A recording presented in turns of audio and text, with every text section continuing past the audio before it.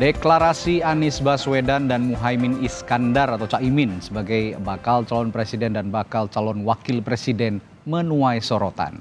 Dalam koalisi ada yang ditinggalkan, ada juga yang bertahan. Lalu apakah duet Anies Caimin mampu mendongkrak elektabilitas keduanya? Dan bagaimana elektoral Anies Baswedan setelah memutuskan untuk meminang Caimin? Apakah ini strategi Anies untuk mendapatkan suara Nahdlatul Ulama atau Nahdien basis Jawa Timur? Dan bagaimana Gerindra usai ditinggal Partai Kebangkitan Bangsa atau PKB. Apa strateginya untuk meraih suara kalangan Islam terutama di Jawa Timur? Kita akan membahasnya pagi hari ini dalam dialog Sapa Indonesia Pagi bersama sejumlah narasumber yakni Wakil Sekjen PKB Saiful Huda, anggota Dewan Pembina Partai Gerindra Andre Rosiade dan peneliti atau ya peneliti komunikasi politik Universitas Airlangga Surabaya Jawa Timur Suko Widodo. Selamat pagi Bapak-bapak. Pagi, pagi. Pagi. Baik. Pagi. Ya. Pagi Bang Hudas, pagi Radi, pagi Mbak Sukodo Widodo. Ya. Saya ke Partai pagi, Kebangkitan Bangsa dulu ke Mas Saiful yang katanya menyelingkuhi ya. Gerindra. nah, kenapa nih akhirnya melabuh, melabuhkan uh, pilihannya ke Anies Baswedan? Bagaimana dengan koalisi yang sudah dibentuk sebelumnya, Mas Huda? Ya, yang pertama untuk Mas Andre, kita ketemu di momentum yang berbeda. Untuk kali ini kita belum berjodoh karena sudah satu tahun lebih konstituen PKB meminta kejelasan, tapi kita bisa memahami eh, Pak Prabowo belum memutuskan juga. Inilah dinamika politik sebagaimana disampaikan oleh Gus Imin dan Pak Prabowo sendiri. Eh, demokrasi tidak ada dendam, di di demokrasi ada pertemuan dan ada perpisahan. Tapi kita bisa memahami uh, suasana yang semacam ini. Kenapa bisa memahami? Catatannya yang pertama, Mas, mm-hmm. sampai hari ini memang belum ada capres yang uh, dominan elektabilitasnya, elektabilitas belum ada satupun. Itulah lalu kenapa dinamika politik ini begitu uh, luar biasa Kenapa pula Pak Prabowo juga belum eh, walaupun sudah koalisi dengan kami satu tahun lebih juga ya. belum memutuskan. Gitu. Nah dalam suasana begitu semua capres baik Mas Anies, Pak Prabowo dan Mas Ganjar sama-sama berpeluang karena belum ada satupun yang eh, dominan. Itu itu poin yang ingin saya sampaikan pada ya. kesempatan yang baik ini. Oke, jadi begini, uh, Mas Saiful, dalam hubungan apa percintaan lah boleh dikatakan begitu. Kalau misalnya sudah uh, uh, apa namanya disukai seseorang begitu, tapi tidak ada respon, namanya cinta bertepuk sebelah tangan begitu katanya. Apakah ini karena cinta bertepuk sebelah tangan, uh, Caimin jadi apa namanya cari pelarian gitu? Ya, ya ibarat orang ini orang orang pacaran. Ada yang pacaran lama setahun 20 hari. Ya. Enggak eh, jodoh-jodoh juga gitu. Tapi tiba-tiba ada yang hanya dalam itu sekejap eh, sebentar gitu. Lalu Allah mentakdirkan itu. Jadi eh, ada proses yang panjang yang kadang kita tidak tahu berujung di mana. Tapi ada proses yang pendek. Tapi memang akhirnya sudah berbuah untuk eh, bisa berjodoh. Okay. Jadi sekali lagi ya inilah khas politik Indonesia. Mm-hmm. Ya, lalu uh, kalau memang uh, Gus Mohaimin sekarang memilih Anies Baswedan di pilpres nanti dan menjadi pasangan Anies Baswedan, pasti ada hitung-hitungan politiknya begitu uh, sudah. Nah, kira-kira tadi juga uh, dari Ketua Umum PBNU uh, Gus Yahya Stakuf mengatakan tidak ada klaim dari kiai mana pun di PBNU yang mendukung salah satu calon presiden. Nah ini sedangkan dari PKB ataupun dari beberapa uh, apa, rekan koalisi ada restu dari PBNU, ada restu dari Kiai uh, Nahdlatul Ulama untuk mengusung Caimin di pilpres nanti. Nah hitung-hitungannya sebenarnya seperti apa dan bagaimana anda merespons dari pernyataan uh, Gus Yahya tadi? Ya kita hormati, kita taati instruksi Gus Yahya terkait dengan uh, sikap PBNU. Memang dari dulu begitu secara organisasi memang PBNU tidak boleh terlibat eh, politik terlebih-lebih eh, PBNU. Sikap itu pula yang diambil oleh Kiai Said, oleh Pak Hashim Mujadi sebelumnya, semua, semua periodisasi ketua umum PBNU setiap kali menghadapi pilpres sikapnya tegas berdiri di uh, atas pihak. Okay. Jadi itu wajar dan bukan bukan sesuatu yang baru gitu. Karena dari periode ke periode semacam itu. Yang kedua, PKB dalam deklarasi kemarin di Surabaya sama sekali tidak menyebut dapat dukungan dari PBNU sama sekali.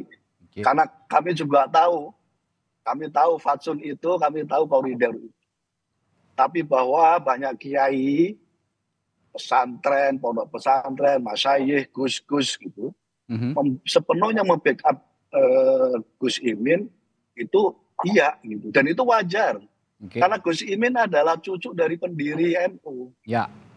Gus Imin adalah uh, pemilih dan adres di Jawa Timur dan Jawa Tengah melalui uh, Partai Kebangkitan Bangsa. Baik. Jadi sama sekali tidak ada yang dilanggar. Baik. Yang ketiga, mm-hmm pasca reformasi setelah zaman Orde Baru yang otoriter, ada kerinduan warga NU untuk menyatukan kekuatan politik. Ya. Dan itu pernah difasilitasi oleh PBNU membentuk yang namanya PKB. Dan pasca reformasi, pasca Gus Dur eh, jadi presiden, Baik. kami merasa harus ada representasi dari tokoh NU untuk menyatukan kekuatan politik Nahdien. Dan akan kami coba dengan pasangan Eh, Mas Anies dan Gus Imin tahun 2024. Baik. Baik, sekarang saya akan ke Bung Andre Rosiade. Bung Andre sebagai pihak yang diselingkuhi katanya. Anda merasa kehilangan suara uh, Nahdien dalam uh, apa namanya manuver PKB ke merapatnya PKB ke koalisinya Anies Baswedan ini? Sekali lagi tentu kami menghormati ya pilihan apa uh, politik uh, Gus Muhaimin, Bang Saiful Huda dan teman-teman PKB tentu tidak perlu diratapi dan uh, sedih ya karena ini biasa dalam politik kami menghormati keputusan teman-teman PKB uh, kami doakan uh, teman-teman PKB sukses dan tetap berkomunikasi dengan Gerindra dan mari kita sama-sama jaga iklim demokrasi tetap sehat tetap sejuk tetap tenang dan insya Allah Pilpres 2024 rakyat Indonesia akan menghadapi dengan riang dan gembira. Itu harapan kita bersama. Jadi no hard feeling, komunikasi kita juga baik dengan PKB. Oke, okay. no hard feeling ya. Ini, ya. Ini, ya. Ya, Jadi ya ini kayak tadi disampaikan Bang Huda, ini kayak hmm. orang pacaran, tiba-tiba uh, dilamar duluan. Tapi kan kalau akad nikahnya nanti tunggu pendaftaran di KPU. Jadi nah. semuanya bisa terjadi. Hmm. Jadi komunikasi tetap kita akan intens dengan PKP. Itu biasa saja dalam demokrasi. Nah, sekarang Radi pertanyaannya apa Radi? Ya, pertanyaannya gini.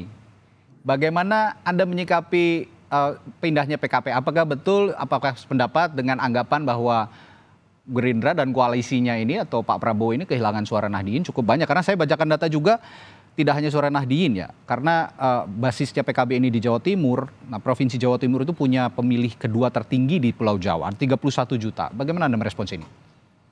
Ya, uh, tentu uh, saya rasa kita tidak perlu masuk kepada spekulasi seperti itu ya. Okay. Karena bagaimanapun juga kami Partai Gerindra dan seluruh partai pendukung, relawan dan seluruh pendukung Pak Prabowo akan terus berkomunikasi dan meyakinkan seluruh rakyat di Indonesia, baik di Banten, DKI Jakarta, Jawa Barat, Jawa Tengah, dan Jawa Timur, termasuk Pak Prabowo komunikasi dengan uh, para kiai, para ulama, para habai, para masaih terus dilakukan oleh Pak Prabowo. Tentunya karena Pak Prabowo sudah puluhan tahun yang lalu ya sejak menjadi prajurit beliau sudah sangat dekat dengan para kiai, baik yang ada di Jawa Timur maupun di Jawa Tengah. Bang Saiful Huda tahu persis lah bagaimana komunikasi yang baik Pak Prabowo dan Pak Prabowo sangat menghormati para ulama dan para kiai yang ada di Jawa Timur dan Jawa Tengah dan seluruh kiai dan ulama yang ada di seluruh Indonesia. Bahkan kemarin Pak Prabowo juga menjadi ketua panitia uh, pertemuan sufi sedunia bersama Habib Lutfi. Jadi komunikasi dan hubungan Pak Prabowo sangat baik dengan seluruh ulama, seluruh kiai dan masahih yang ada di seluruh uh, penjuru tanah air. Jadi uh, kita tidak terlalu khawatir, kita hormati pilihan PKB. Kan ini baru lamaran, iya. akadnya kan belum. Jadi tidak usah terlalu khawatir berlebihan. Politik itu sangat-sangat dinamis. Okay. Kita hormati pilihan PKB, uh, tapi komunikasi kita dengan PKB juga masih sangat baik. Betul kan, Bang Huda? Uh, jadi. Politik itu cair. Jadi ya, ya, persaudaraan ya. itu harus kita jaga. Baik, gitu baik. Loh. Itulah Ini... politik Gerindra, politik ya. yang mempersatukan, baik. yang yang merangkul bukan memukul, yang mempersatukan bukan memecah belah. Itulah politik Pak Prabowo, itulah politik Partai Gerindra. Seperti itu. Ya, narasi Bung Dan Andre, saat ya. ini saat Silakan. ini alhamdulillah meskipun PKB sementara sementara saya kasih catatannya sementara, sementara ya. ke sebelah kita dalam hari Minggu lalu kita menerima dukungan Partai Garuda dan Partai Gelora. Alhamdulillah, insya Allah setelah ini komunikasi kita semakin intens dengan teman-teman Demokrat, dengan okay. teman-teman PSI. Insya Allah mudah-mudahan Demokrat dan PSI bisa bergabung dengan Koalisi Indonesia Maju. Harapannya seperti itu. Setelah itu kita nantikan kembalinya ya. PKB insya Allah bersama Koalisi Indonesia Maju. Nah, yang menarik tadi juga Anda menyebutkan ada Partai uh, Gelora dan juga uh, Partai Garuda. Nah, kita ketahui Partai Gelora ini juga berbasis Islam gitu. Selain itu ada PBB juga di koalisi Anda ya, Bung Andre.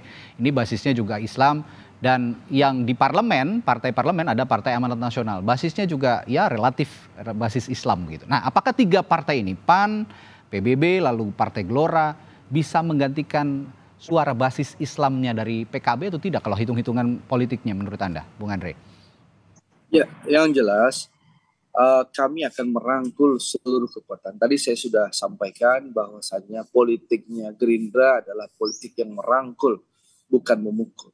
Apalagi Pak Prabowo selalu menyampaikan berulang-ulang kali bahwa beliau kalau diberikan mandat oleh rakyat, beliau akan merangkul seluruh kekuatan politik. Ya. Jadi tidak akan ada yang ditinggalkan kalau Pak Prabowo diberikan mandat oleh rakyat. Jadi intinya apa?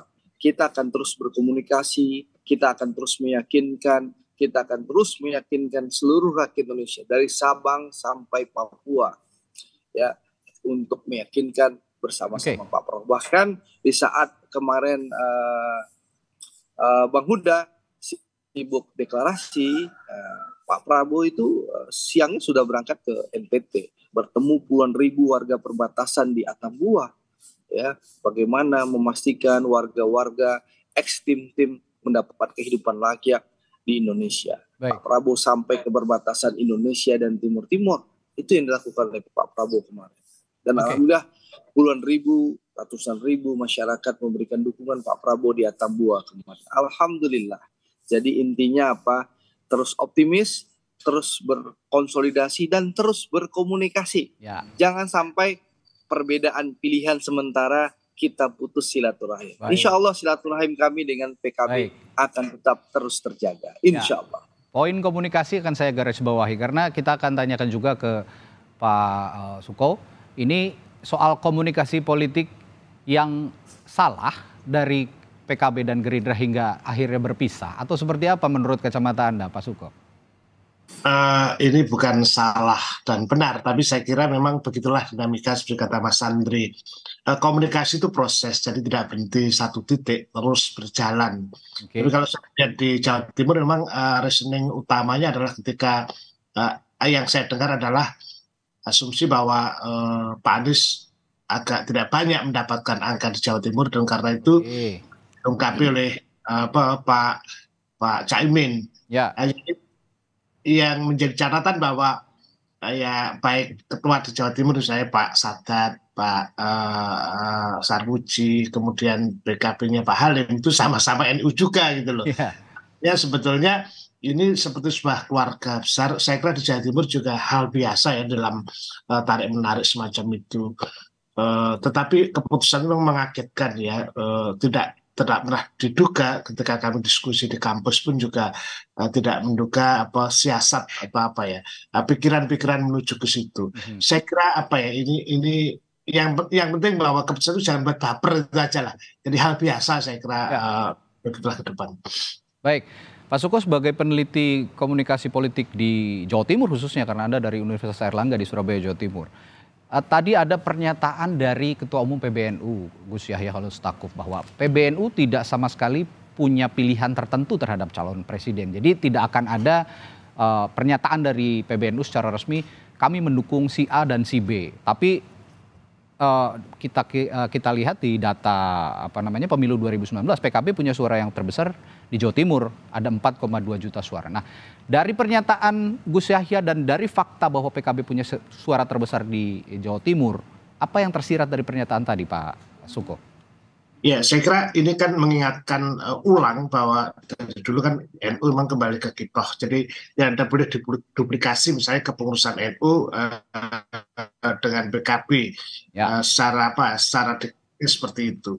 Nah, ini sekedar mengingatkan agar mungkin PKB tidak mengklaim bahwa seperti yang diingatkan bahwa tidak ada klaim-klaiman terhadap partai yang didukung oleh NU meskipun prakteknya di lapangan tentu saja ini apa ya ya tarik menarik itu uh, antar uh, pihak itu uh, tetap ada ya dalam praktik ya tapi setiap klaim yang dimunculkan selalu pada pada pada kalimat-kalimat seperti itu.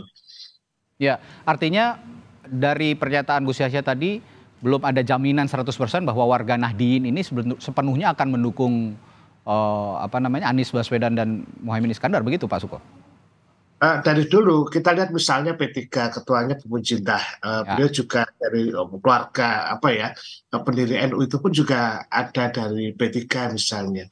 Uh, artinya apa? Artinya memang NU uh, untuk untuk semua pihak tidak ada klaim-klaim seperti dalam okay. praktek itu juga. Tetapi memang kelompok-kelompok itu uh, pasti selalu ada lah. Oh, kelompok-kelompok itu seperti uh, apa namanya suara-suara individu Nahdien itu akan tetap ada begitu ya Pak Suko ya? Selalu ada seperti itu. Nah ini juga menarik berarti ya belum 100% lah begitu ya Nahdien ini akan mendukung secara otomatis Mohaimin Iskandar dan juga calon presidennya bakal calon presidennya Anies Baswedan ya, di pemilu. Tetapi yang perlu dicatat bahwa memang PKB menjadi pemenang nomor dua sekitar 4 juta 200. Kalau hitung-hitungan sebetulnya hmm. eh, ketiganya akan sama. Pada awalnya Gerindra pun kalau digabung dengan Golkar dengan eh, PAN itu hampir 6 juta berapa. Okay. Tapi posisi PKB kalau dengan PKS dan uh, dan uh, satu lagi PKS ya PKS PKB plus Nasdem itu sekitar 7 juta berapa. Jadi angkanya itu agak apa perolehan dari kalau kita musim 2019 itu relatif hampir sama seimbang lah kira-kira. Oke. Okay. Nah, saya juga akan menanyakan pertanyaan yang sama tadi saya juga sempat menanyakan ke Bung Andre. Ada partai Gelora, ada partai Bulan Bintang dan juga partai parlemennya di koalisi Prabowo Subianto ada Partai Amanat Nasional. Apakah tiga partai ini yang relatif punya basis Islam bisa menggantikan posisi PKB di koalisi mereka? Pak Suko. Saya kira apa ya tidak apa karena kan belum teruji juga ya, ya. misalnya Gelora juga belum setidaknya ada Partai Amanat Nasional di parlemen begitu Pak Suko. Ya, ya. PAN cukup, cukup kuat juga. Artinya gini loh, beberapa partai misalnya kayak PAN, kayak PKS itu meskipun uh, relatif dia di urutan kelima atau enam, tetapi mereka unggul, unggul apa istilahnya kuat ya, solid itu, soliditas itu. Saya kira itu kekuatan yang apa, yang luar biasa di tengah-tengah apa ya floating mess seperti ini, mereka bisa ya. menjadi unsur bagi bagi sekitarnya istilahnya. Baik. Iya, tadi sebelum jeda saya sempat menanyakan ke Bung Saiful Huda soal behind the scene bagaimana Gus Muhaimin ini bisa akhirnya merapat ke koalisinya Anies Baswedan dengan Partai Nasdem dan juga Partai Keadilan Sejahtera. Bagaimana behind the scene-nya dalam hitungan minggu mereka bisa langsung bersama dan akhirnya mendeklarasikan diri. Apa yang terjadi, uh, Mas Huda? Ya, uh, sebenarnya tepatnya ada satu hari, tepatnya tanggal 28 Agustus, ada dua peristiwa yang saling bertolak belakang memang. Oke. Okay. Yang per, peristiwa yang pertama adalah PKB melaksanakan rakornas yang dihadiri oleh semua ketua DPW dan Zoom ketua DPC seluruh Indonesia. Itu terjadi pada siang hari. Waktu itu Gus Imin menyampaikan dalam sambutannya, dalam pidato politiknya, Rakornas kali ini kita tidak akan mengevaluasi menyangkut soal pilpres. Okay. Karena di dalam pilpres kita tetap solid dengan koalisi KKIR bersama Gerindra. Ini pilihan yang sudah kita tetapkan. Nah, kemudian malam harinya kami menghadiri rapat, mohon maaf, eh, perayaan HUT PAN dan memang jujur harus diakui eh, apa Pak Muhaimin kaget karena disampaikan oleh Pak Prabowo ada rencana untuk membuat eh, nama koalisi baru. Nah, dalam pikiran Gus Imin Eh, ketika koalisi baru di launching itu artinya berarti KKIR secara otomatis uh, dibubarkan. Okay. Nah itu itu ada peristiwa yang begitu. Oke. Okay. Jadi pak siang harinya begitu, malam harinya uh, semacam itu. Itu yang yang pertama. Yang kedua, secara suasana politik, saya kira uh, Mas Andri tahu persis suasananya seperti apa dan saya kira tidak perlu didiskusikan pada kesempatan ini. Hmm. Tapi prinsipnya Eh, kita saling menghargai eh, Pak Prabowo apa berkesempatan ingin secepatnya melonsing koalisi baru kita hargai karena mungkin Pak Prabowo punya hitungan politik yang uh, sudah dihitung oleh beliau dengan koalisi Indonesia Maju itu. Okay. Nah dalam suasana itu memang di dalam internal PKB uh, bergolak karena Gus Imin harus mempertanggungjawabkan uh, pilihan ketika bergabung dengan Gerindra, terus kemudian uh, saat yang sama harus menerima koalisi Indonesia Maju yang okay. baru saja waktu itu hari Senin dilonsing oleh Pak Prabowo. Baik. Nah dalam situasi yang semacam itulah semua ketua DPW, para kiai meminta pertanggungjawaban. Mm -hmm. Yang waktu itu kami memutuskan untuk istilah santrinya itu maukuf Maukov itu berdiam tetap di posisi yang sama gitu. Nah, dalam proses itulah lalu kemudian ada dinamika yang eh, berkembang sampai hari ini. Baik. Mas Suda ada fakta seperti saya contohkan di survei Litbang Kompas yang uh, paling baru kemarin. Ini ada ya. beberapa tokoh bakal calon wakil presiden yang Litbang Kompas survei itu nama Gus Muhaimin tidak muncul ke permukaan di setidaknya di eh, lima besar begitu dan elektabilitas elektabilitasnya sepertinya masih uh, sangat kecil untuk diusung menjadi bakal calon wakil presiden. Nah, adakah komunikasi antara Gus Muhaimin dan uh, Anies Baswedan? Mengapa memilih Gus Imin? Pasti ada risiko yang ingin ditanggung karena memang Gus Imin faktanya belum uh, terlalu tinggi elektabilitasnya. Bagaimana Anda merespons hal ini? Ya Pilpres kan tidak hanya eh, satu-satunya ukuran elektabilitas. Oke. Okay. Itu kan hanya satu dari part dari bagian-bagian lain da, untuk melihat dan memotret eh, pilpres. Saya kira Mas Suko lebih paham untuk menjelaskan soal itu. Nah, dalam suasana begitu, eh, kami merasa masih banyak faktor yang akan menjadi eh, momentum untuk bisa dikonsolidasikan untuk memenangkan pilpres. Okay. Seperti salah satunya yang saya sampaikan tadi, sampai hari ini belum ada satupun capres yang dominan 51 persen elektabilitasnya. Hmm. Bahkan cenderung setak, tidak naik-naik. Dan eh, lebih-lebih belum ada yang melampaui 40 persen. Itu artinya masyarakat Indonesia masih terus uh, melihat-lihat uh, apa yang akan sedang terjadi dalam Pilpres 2024. Baik. Yang kedua, Mas, ya. kalau kita lihat lebih detail lagi sigi hasil survei, masih ada 47 persen sebenarnya yang swing voters. 13 persen eh, belum menentukan sikap undecided voters. Ya. Selebihnya, misalnya ada yang sudah memilih Mas Ganjar, memilih Pak Prabowo. Ketika ditanya ulang apakah pilihannya sudah tetap fix, jawabannya belum. Oke. Okay. Totally itu 47 persen lebih ditambah dengan uh, undecided voters itu Artinya masyarakat belum menjatuhkan pilihan final. Itu artinya masyarakat masih menunggu apa saja yang akan dilakukan oleh pasangan capres ini.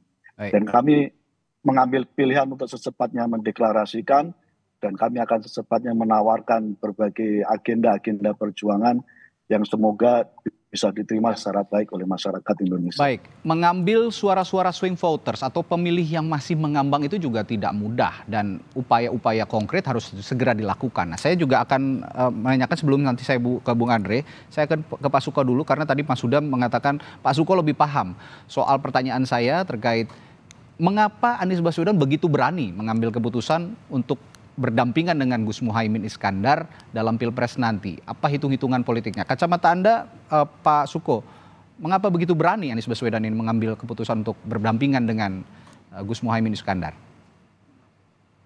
Ya, uh, publik atau para ahli melihat bahwa Jawa Timur memang battle ya tempat tempat pertempuran lapangan yang luar biasa. Nah, angka Pak Anies itu kan tidak terlalu bagus di Jawa Timur.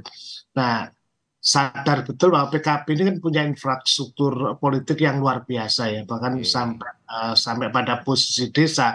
Nah sebetulnya dugaan saya uh, mengapa mengambil itu karena uh, mesin politiknya ini dan kita kita tahu bahwa, bahwa PKB apa ya di dalam uh, terakhir-terakhir itu uh, Caimin sangat intensif dan pergerakannya sampai ke bukan lagi kecamatan sampai desa. Nah itu yang kayaknya mau diambil oleh uh, uh, Pak Anies sehingga bisa meningkatkan apa posisi Pak Anies di Jawa Timur. Jadi infrastruktur uh, PKB yang sampai bawah itulah yang saya kira mm, apa di, diyakini sebagai modal uh, untuk meningkatkan elektabilitas. Oke, bolehlah dikatakan infrastruktur PKB ini kuat hingga sampai ke desa-desa begitu ya Pak Suko. Tapi kenapa ini tidak berbanding lurus dengan elektabilitasnya Mohaimin Iskandar? Di beberapa hasil survei uh, elektabilitasnya masih rendah bahkan tidak masuk uh, lima besar begitu. Bagaimana Pak Suko? Ya, memang betul dinamika ya. Uh, ini yang saya yang tadi sebut Mas Sudah adalah proses ya uh, apa setidaknya uh, menggunakan apa ya efek kejut yang kemudian bisa menggerakkan ya di dalam konteks komunikasi politik biasanya ada magnet-magnet yang kemudian dimunculkan uh, dalam titik tertentu. Nah, uh, apa waktu yang tinggal 150 berapa hari ini yang kemudian digunakan okay. uh, benar-benar untuk menggerakkan. Jadi ini pun juga apa ya menurut saya adalah uh, trial and error juga ya melakukan itu karena juga menunggunya lama. Saya kira uh, apa bukan ketidaksabaran tapi PKB harus menentukan sikap untuk menggerakkan itu uh, di dalam ruang yang yang agak sepi uh, terakhir-terakhir ini. Karena kita tahu bahwa di dalam apa di dalam uh, diskusi publik itu kan semuanya hanya uh, per, pertarungannya di presiden di, di elitis. Ya. tapi ketika mesin politik digunakan maka dia diturunkan sehingga uh, berusaha untuk mencari relasi yang real Ya. Jadi kalau dalam konteks komunikasi ada public outreach communication, maka selama ini hanya komunikasi, tetapi uh, uh, PKB uh, atau Pak Anies melakukan public outreach, jadi uh, tindakan nyata. Hasilnya ya kita lihat nanti. Depan. Baik. Yang saya tangkap efek kejut ini juga seperti pernyataan yang berulang kali diungkapkan oleh Anies Baswedan bahwa di Pilkada DKI juga sebelumnya dia tidak uh, punya survei yang bagus begitu tapi bisa memenangkan Pilkada DKI. Nah, apakah ini nanti akan berbanding lurus dengan Pilpres? Rakyatlah yang akan menjawabnya dan upaya dari partai eh, partai-partai koalisi yang nanti akan bisa menjawabnya. Nah, uh, saya akan ke Bung Andre. Bung Andre, ini bagian lain dari bahasan kita masih uh, di yeah. apa namanya uh, soal berpisahnya PKB dengan partai Anda dengan Partai Gerindra untuk mengusung Pak Prabowo Subianto ada anasir-anasir di luar sana, ada upaya memecah belah koalisi dengan memasuknya PKB ke koalisi uh, Anies Baswedan. Dan juga ini uh, apa namanya Gus Muhammad ini mengusung bakal capresnya Anies Baswedan ini sebagai upaya untuk memecah belah koalisi yang Anda uh, bangun selama ini. Apakah Anda punya anggapan juga seperti itu? Bung Andre. Gimana? Memecah belah koalisi kami? Ya, ada upaya dari pihak luar koalisi yang sekarang namanya Koalisi Indonesia Maju ya, Pak Prabowo mengatakan itu. Ya. Nah, sebelumnya koalisi ya. uh, eh, KKIR itu tadi, ini ada masuknya Cak Imin ke Anies Baswedan, ini sebagai upaya untuk memecah belah koalisi Anda. Anda sependapat dengan itu? Oh, begini. Pertama saya ingin menyampaikan lagi bahwa uh, menanggapi pernyataan Bang Huda dulu ya, bahwa Cak Imin, Gus Muhaimin tidak keberatan dalam uh, perubahan nama waktu malam tanggal 28 itu. Waktu itu Pak Prabowo memberitahukan ke Pak Erlangga, Pak Zulhas, Prof Yusril, ya memang Gus Muhaimin agak terlambat datang di acara PAN itu. Okay. Tapi waktu datang langsung dipeluk, diinformasikan ke Gus Muhaimin bersama-sama dipeluk loh sama seluruh ketua umum partai dan Gus Muhaimin tidak keberatan. Bahkan beliau dalam pidatonya juga menyampaikan tidak keberatan. Saya ingin garis bawahi dulu soal uh, kagetnya. Yang jelas beliau tidak keberatan. Di dalam pidato beliau di acara PAN itu beliau tidak keberatan.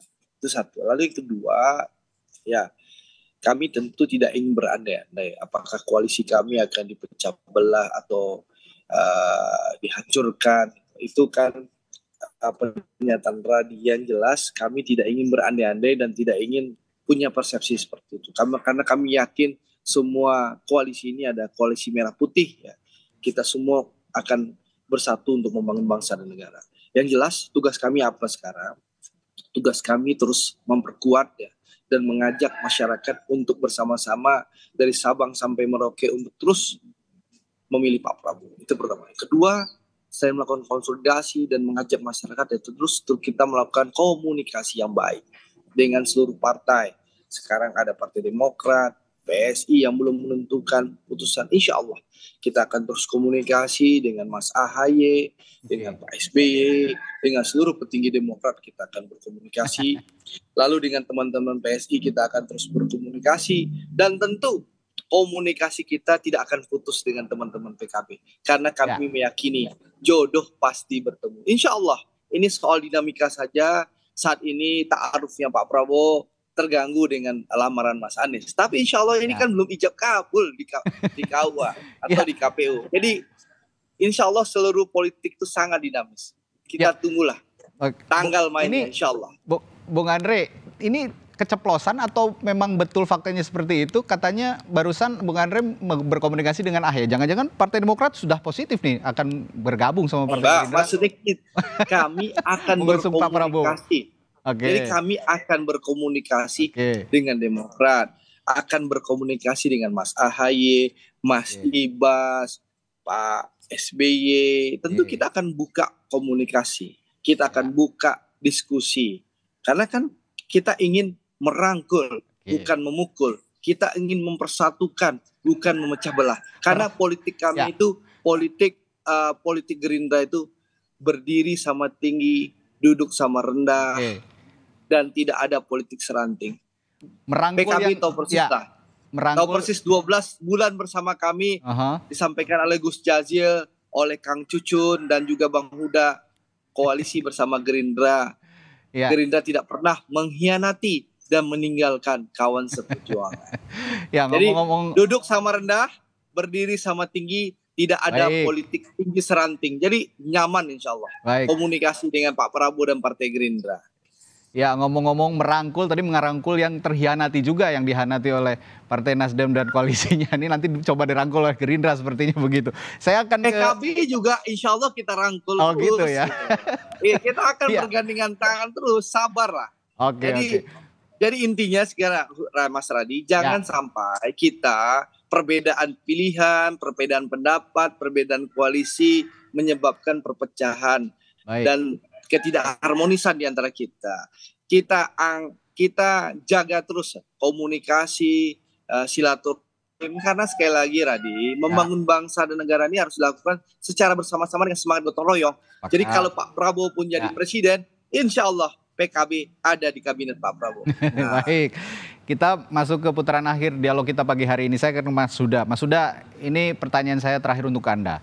Uh, ada juga publik yang ya. menganggap ini kan namanya koalisi perubahan untuk persatuan begitu ya. Koalisi yang Anda bangun sekarang ini bersama Partai Nasdem, Partai Keadilan Sejahtera meskipun belum jelas ini sikapnya nanti menunggu Majelis Syuro katanya dan PKB dan juga eh, partai-partai lain di luar parlemen yang ingin bergabung. Tapi katanya publik ini mengatakan katanya koalisi perubahan, tapi kok di dalamnya masih orang-orang yang sama begitu. Partai Nasdem mengusung pemerintahan saat ini dan juga PKB.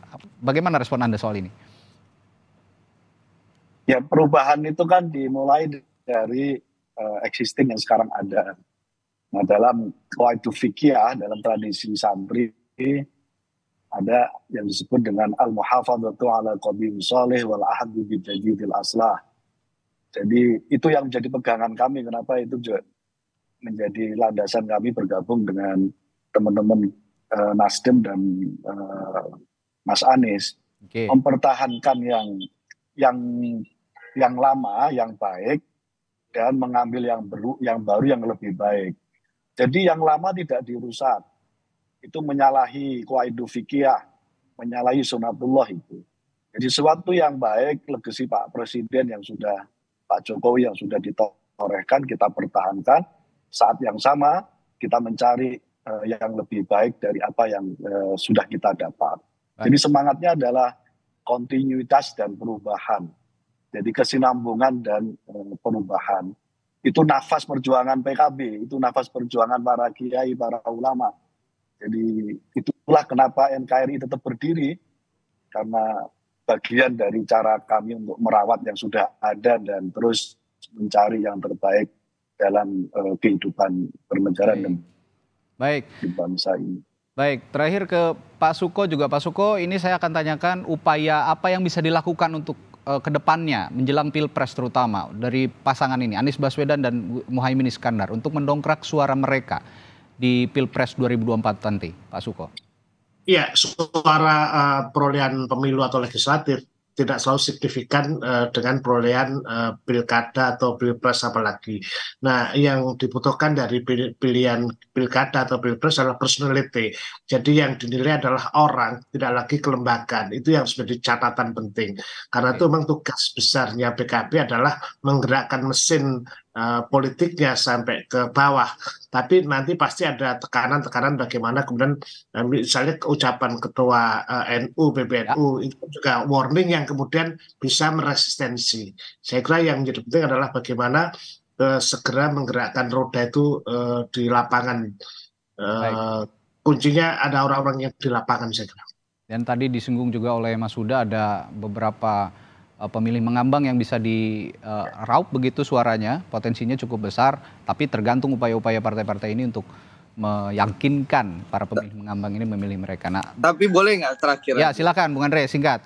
Kami, kami percaya uh, PKB adalah bagian tim dari pemerintahan Pak Jokowi. Ya. ya, karena kita yakin PKB akan memperjuangkan keberlanjutan. Tapi mohon maaf dengan segala hormat, Mas Anies itu sudah posisikan dirinya sebagai antitesisnya Pak Jokowi. Tentu rakyat uh, tidak akan lupa. Itu yang saya maksud bahwa tadi. Yang bicara keberlanjutan itu ya Pak Prabowo dan Mas Ganjar. Mas Anies selama uh, 10 bulan ini sejak bulan Oktober ya sudah tegas-tegas ya. mengkritisi apa pun yang dilakukan oleh Pak Jokowi. Bahkan mohon maaf dengan segala hormat di saat seluruh dunia bahkan WHO baik, baik. memuji kita sebagai salah satu negara terbaik menghadapi pandemi COVID-19. Mas Anies di luar negeri malah mohon maaf menjelek-jelekkan kinerja pemerintah menghadapi pandemi COVID-19. Di saat Pak Prabowo jelas uh, akan mendukung dan uh, melanjutkan permasalahan IKN, Mas Anies malah uh, berputar-putar menjawab bahkan mempertanyakan apakah IKN itu perlu atau tidak. Jadi ya. masyarakat tentu jelas bahwa Pak Prabowo Baik. merupakan figur yang bisa melanjutkan Baik. pemerintahan Pak Jokowi. Mas Anies adalah antitesis Pak Jokowi. Jadi Baik. kita bicara fakta rekam jejak selama ini. Baik. Ada yang bersemi, cintanya bersemi antara Anies dan Imin, Gus Imin, ada juga yang merasa terhianati. Tapi yang penting Bapak-bapak, siapa pun calon pemimpinnya jangan sampai yang dihianati itu rakyat sebagai pemilih tertinggi sebagai pemegang pemilih Betul. di ini. Nah itu kita akan setuju, setuju. jaga Sepakat. bersama. Kita bisa pahami mas. Baik, terima kita kasih. Bisa pahami Andre begitu. Baik, terima kasih. Ya, terima Huda. kasih Pak Huda. Dari Allah kita Andre Bangsa, Andre Rosiade dari Partai Gerindra dan Pak Suko Widodo. Terima kasih Radi. Terima Baik, kasih. Terima kasih peneliti komunikasi politik dari Universitas Erlangga Surabaya. Terima kasih Bapak-bapak. Selamat pagi, sehat selalu.